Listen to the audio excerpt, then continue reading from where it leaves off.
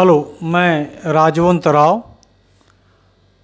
आज आप लोगों के समक्ष मैं चोल साम्राज्य का इतिहास लेकर आया हूँ। यह देखा जा रहा है पोस्ट कोरोना काल में कि यह ऑनलाइन क्लासेस बहुत ही सशक्त माध्यम बन चुका है। इसका अर्थ ये नहीं है कि ऑफलाइन का महत्व नहीं है। प्रिय विद्यार्थियों, मैं ऑफलाइन भी क्लास लूँगा लेकिन समय को देखते हुए मैं आज चोल साम्राज्य पर फ़र्स्ट फ़ेज़ का वीडियो आपको अपलोड कर रहा हूँ। मेरी कोशिश होगी कि मैं जो पढ़ा रहा हूँ उससे आपका पाठ्यक्रम भी कवर हो और जो आप प्रतियोगी परीक्षाएँ देते हैं वो भी इसमें कवर हो जाए। जैसे टीजीटी, पीजीटी, पीसीएस या सिविल सर्विसेज़, जो आईएएस आदि कवर हो जाए, ये मेरी कोशिश रहेगी। तो आज मैं चोल साम्राज्य आप लोगों को बताऊँगा। चोलों का बहुत बड़ा इतिहास है। इस मामले में चोल राजवंश बहुत ही विशिष्ट है और अन्य राजवंशों की तुलना में विशिष्ट है कि इसका जो पीरियड है, जो कालखंड है, वो बहुत बड़ा है। इस तरह से चोल एक लंबे अतीत के वंशधर हैं। सबसे पहले इनका उल्लेख अशोक के अभिलेखों खासतौर से त्रयोदश शिलालेख और द्वितीय स्तंभ लेख में मिलता है। यह तीन राज्यों के संघ के रूप में इसका प्रायः उल्लेख मिलता है। अशोक के अभिलेखों में भी मिला है। द्वितीय स्तंभ लेख में कहा गया है, एवमपि प्रचंतेशु यथा चोडा पाडा केरल सत्यपुतो अलिक सुंदर आतंब पणी इसमें केरल, पांड्य और चोलों का उल्लेख अशोक के अभिलेखों में प्राप्त होता है। हम आगे बढ़े खारवेल के हाथी गुम्फा अभिलेख में, उसके ग्यारहवें वर्ष के उपलब्धियों को हम देखें तो उसमें मिलता है तिमिर दह संघातम। तिमिर दह संघातम का अर्थ इतिहासकारों ने, खास तौर से काशी प्रसाद जायसवाल ने और डीसी सरकार महोदय ने तमिल राज्य संघ किया है। तो तमिल राज्य संघ यदि किया जाए तो फिर ये संघ बनता है जिसमें चेर पांड्य और चोल आ जाते हैं। इसका चोल राजवंश का जो अंतिम शासक है, वो राजेंद्र तृतीय है, जिसका राज्य समाप्त होता है बारह सौ उन्यासी ईस्वी के लगभग। तो इस तरह से हम देखते हैं कि तृतीय शताब्दी ईस्वी पूर्व से लेकर तेरहवीं शताब्दी ईस्वी के अंतिम दशक तक चोलों का इतिहास जाता है। यानी पंद्रह सौ वर्षों का इनका उत्थान पतन का इतिहास है। इसमें प्रारंभ में मौर्यों के बाद या खारवेल के बाद संगम इतिहास का प्रारंभ होता है, जो सौ से लेकर 250 ईस्वी तक जाता है। ईस्वी तक जाता है। इसके बाद इसका, इस कालखंड का एक ही शासक का नाम महत्वपूर्ण है, वो है करिकाल। करिकाल एक बहुत ही महत्वपूर्ण शासक था, जिसने चेर और पांड्य राज्यों को सबड्यूट किया हुआ था, यानी उसको उन्हें अधिग्रहित कर लिया था करिकाल।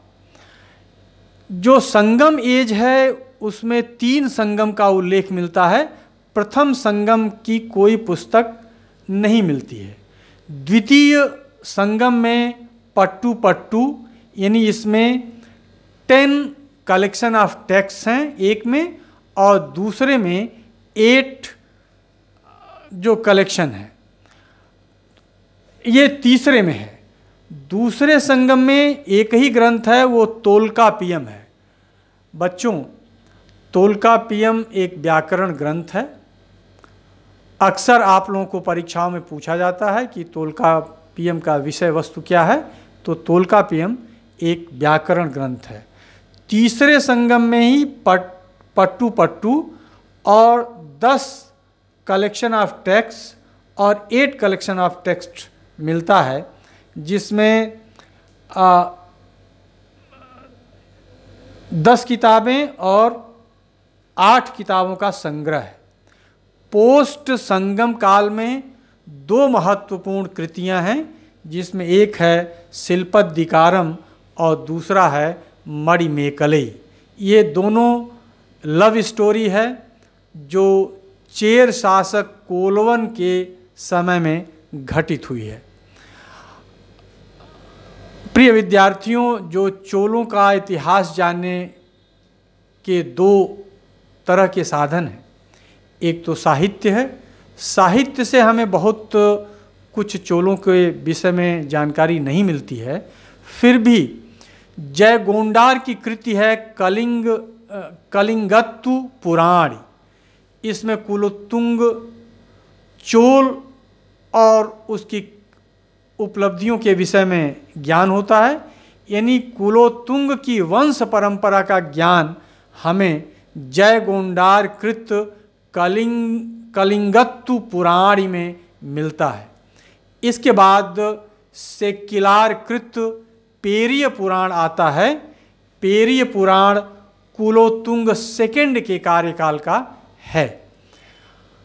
महावंश में पांड्य विजय और लंका विजय के विषय में, जो लंका विजय राजेंद्र प्रथम ने की थी, उसके विषय में जानकारी हमें महावंश बौद्ध ग्रंथ से मिलता है। इसके अतिरिक्त सबसे अधिक जो जानकारी मिलती है, वो हमें अभिलेखों से मिलती है। अधिकांश चोल राजाओं के अभिलेख दान अभिलेख हैं और उसमें से भी अधिकांश मंदिरों के दीवालों पर उत्कीर्ण है।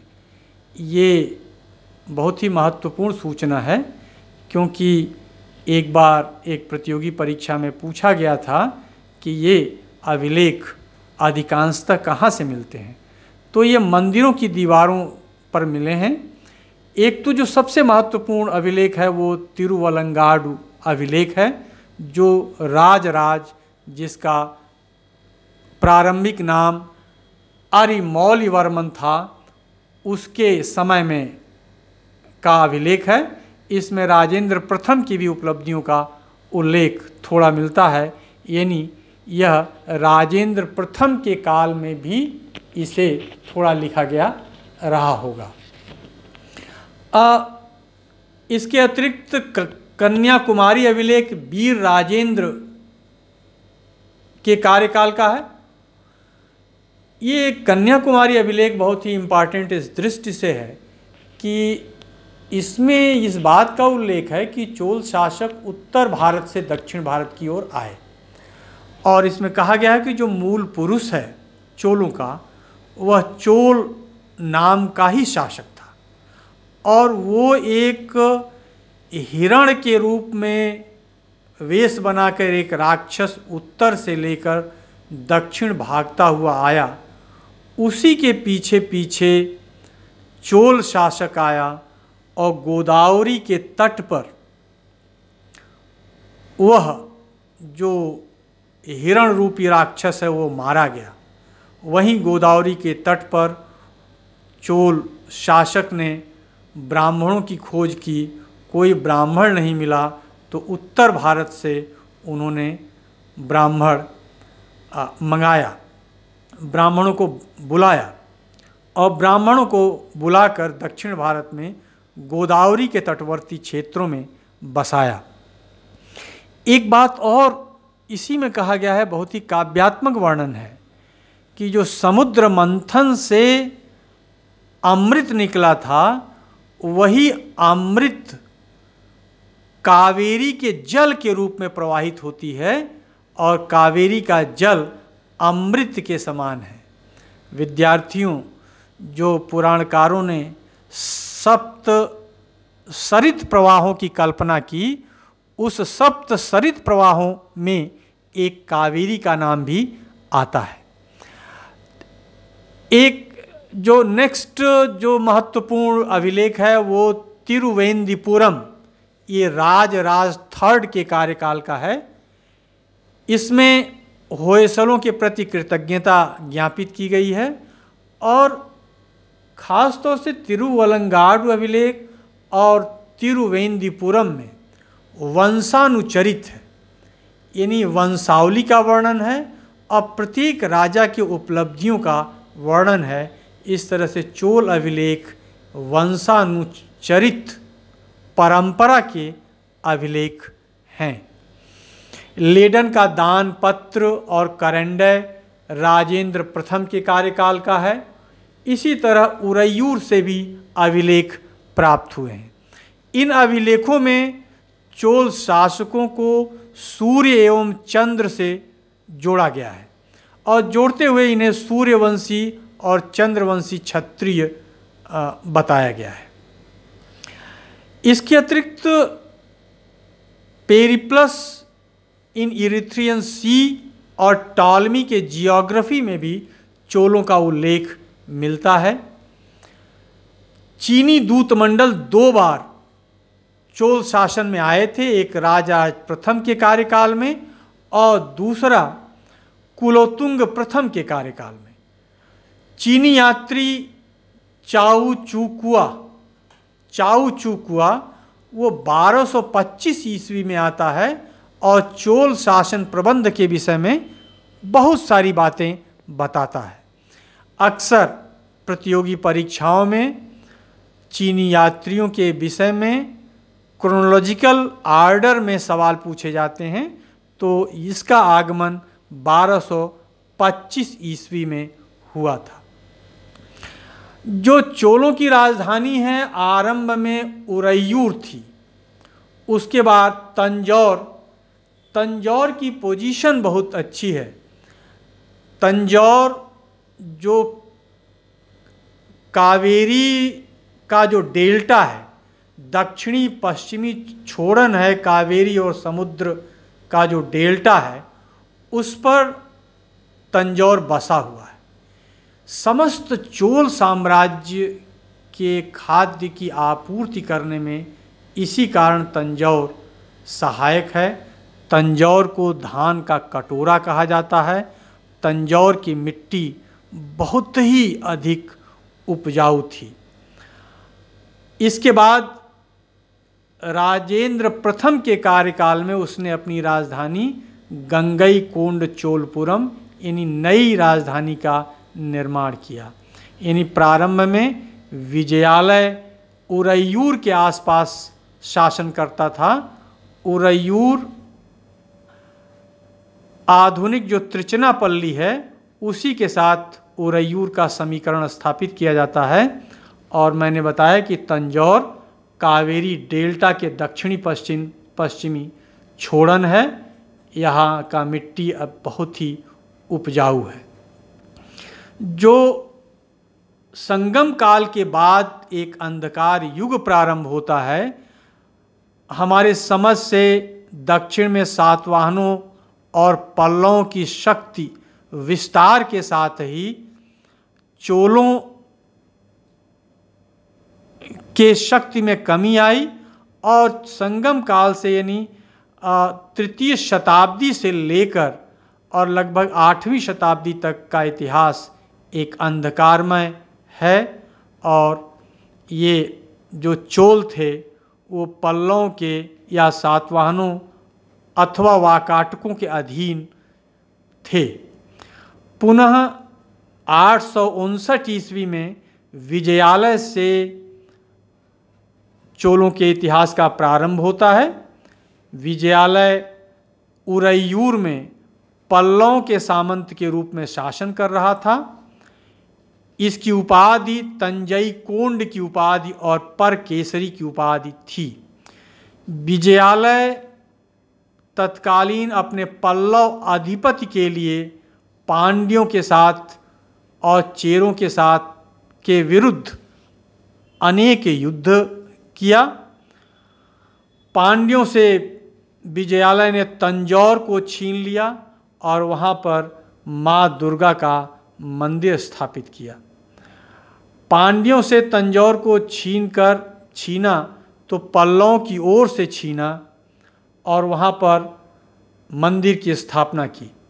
विजयालय के पश्चात आदित्य वर्मन, भी पल्लव शासक, अपराजित की अधीनता स्वीकार करता था सामंत के रूप में। लेकिन उसने अनेक युद्धों के द्वारा पल्लवों के प्रति अपनी स्वामी भक्ति प्रकट की। श्री पुरम्बियम के युद्ध में उसने पांडवों को, पांड्यों को पराजित किया। ये युद्ध भी पल्लवों की ओर से आदित्य वर्मन प्रथम लड़ा था।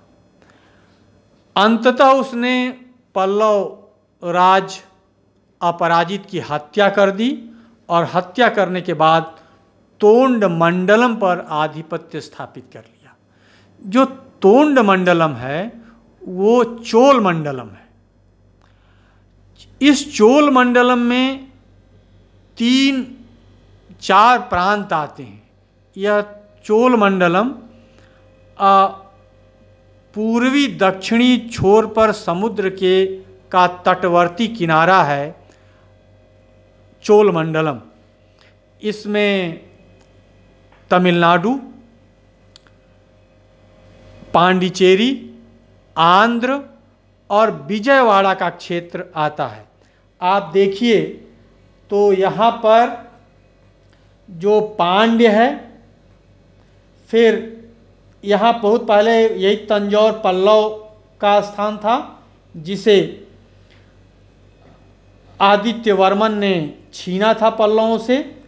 तो यानी ये जो इलाका है, ये तमिलनाडु है, ये आंध्रा है, यहीं पर पांडिचेरी है यहीं तंजौर का इलाका है और ये स्थान विजयवाड़ा है। मैं यदि आप लोगों को दिखाऊँ उस समय की तत्कालीन परिस्थितियाँ तो ये होयसलों का राज्य था, ये होयसल। और होयसलों की राजधानी थी हेलेबिट। और यहाँ पर जो वेंगी का राज्य था, जिन्हें हम पूर्वी चालुक्य करते हैं, कहते हैं, गंगों का राज्य यहाँ था, यहीं पर कल्याणी के चालुक्य थे। तो इस तरह से पूर्वी छोर पर वेंगी और पश्चिमी छोर पर गंग, बीच में होयसल और फिर कल्याणी के चालुक्य, इनसे घिरा हुआ था चोलों का साम्राज्य। तो तोंड मंडलम पर, यानी चोल मंडलम पर, मैंने बताया कि इसमें आंध्र प्रदेश, पांडिचेरी और तमिलनाडु, विजयवाड़ा का क्षेत्र आता है। ये कालांतर में जब यहाँ, यानी पूर्वी तट पर फ्रेंच और पुर्तगीज आए तो इस क्षेत्र का नाम कोरोमंडल हो गया। तो इस तरह से तोंड मंडलम चोल मंडलम और फिर ये कोरोमंडलम हो गया जिसमें तमिलनाडु आंध्र पांडिचेरी का क्षेत्र आता है ये व्यापार की दृष्टि से और खाद्यान्न के दृष्टि से दोनों ही दृष्टियों से अत्यंत महत्वपूर्ण क्षेत्र था। आ, इन्होंने आदित्य वर्मन ने पश्चिमी गंगों को दबाया सबड्यूड किया। आदित्य वर्मन का पुत्र युवराज के रूप में अपरांत प्रथम का विवाह आदित्य वर्मन ने चेर राजकुमारी के साथ किया। अब देखिए, पल्लवों को पराजित करके, उसने, पल्लवों को पराजित करके उसने समस्त तंजौर का इलाका ले लिया और पांड्यों को पराजित किया, चेरों को उसने मुक्त रखा और चेरों से उसने वैवाहिक संबंधों के माध्यम से आदित्य वर्मन ने चेरों के साथ मैत्रीपूर्ण संबंध रखा। कावेरी के दोनों किनारों पर आदित्य वर्मन ने शिव मंदिर बनवाई। आदित्य वर्मन के बाद यही परांतक प्रथम शासक हुआ। परांतक प्रथम शासक हुआ, उसने सिंघल और पांड्यों की ओर अपना ध्यान आकृष्ट किया।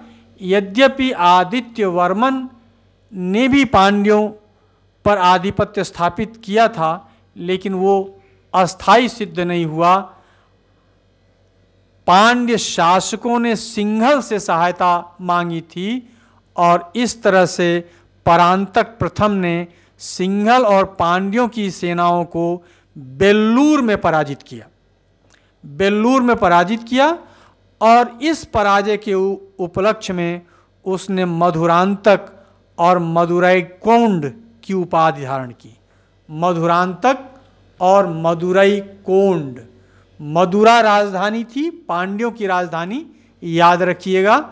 मदुरा पांड्यों की राजधानी थी।